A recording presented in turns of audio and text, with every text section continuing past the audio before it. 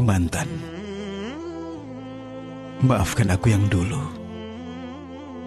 yang begitu hinanya mengajakmu pacaran. Maafkan aku yang dulu, yang dengan tanpa rasa malu memintamu untuk menghabiskan waktu bersamaku, padahal aku belumlah halal menjadi suamimu.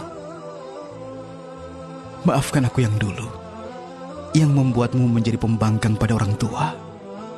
Hanya demi aku yang baru kau kenal. Maafkan aku yang dulu yang selalu berdalih atas nama cinta palsu demi memperdayaimu.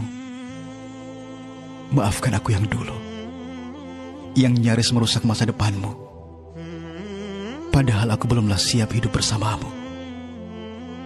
Kini, hidayah itu menamparku begitu hebat. Aku sadar ini salah. Aku sadar ini keliru. Dan aku memohon maaf padamu. Karena kini, aku harus menarik diri darimu. Bukan aku tak cinta. Bukan pula aku tak sayang. Tapi aku ingin mempersiapkan diriku menjadi pribadi yang lebih baik kelak. Sehingga layak menjadi imam bagi keluargaku.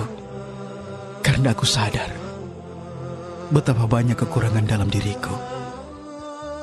Kini aku juga tahu bahwa melewati hari bersamamu tanpa ikatan halal adalah keliru. Karena tak ada pacaran sebelum nikah. Aku yakin dengan takdirku.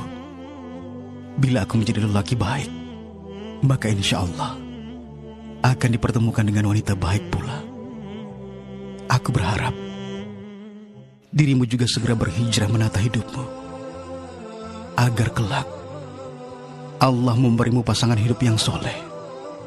Meski dari lubuk hatiku yang paling dalam. Aku berharap itu adalah aku. Sehingga kelak kita bisa kembali diperjumpakan dalam sebuah keluarga yang sakinah dan dalam balutan indahnya hidayah. Semoga